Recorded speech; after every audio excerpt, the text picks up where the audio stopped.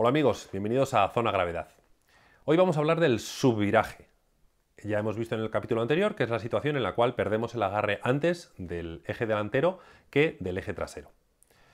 El subviraje es una situación que nos interesa evitar. Para ello es importante eh, una buena puesta a punto de la goitibera.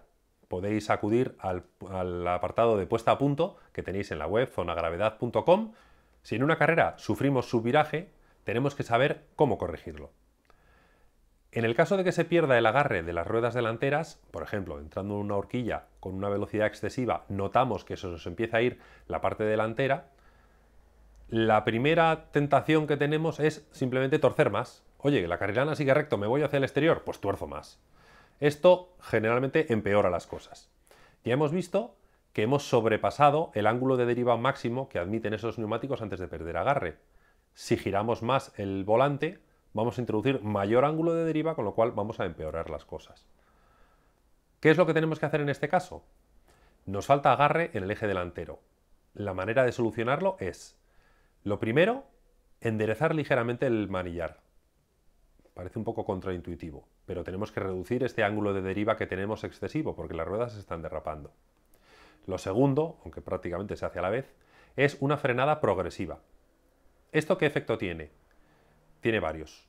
El primero, disminuir la velocidad. Hemos entrado a una velocidad excesiva, vamos a disminuir unos kilómetros por hora para conseguir hacer la trazada.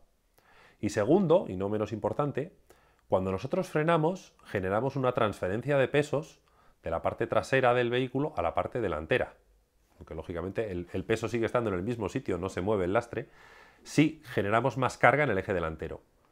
Al generar más carga vamos a tener más agarre, con lo cual vamos a darle más agarre al eje delantero y quitarle agarre al eje trasero, con lo cual vamos a corregir este subviraje. Así que cuando en una carrera se nos vaya de morro una horquilla, jamás tenemos que torcer más. Tenemos que enderezar ligeramente el volante, frenar progresivamente, disminuir la velocidad y darle más agarre a las ruedas delanteras y en cuanto estemos otra vez a una velocidad que calculamos que somos capaces de finalizar la curva, volver a torcer a una velocidad inferior y seguir el, el descenso. Hasta el próximo capítulo.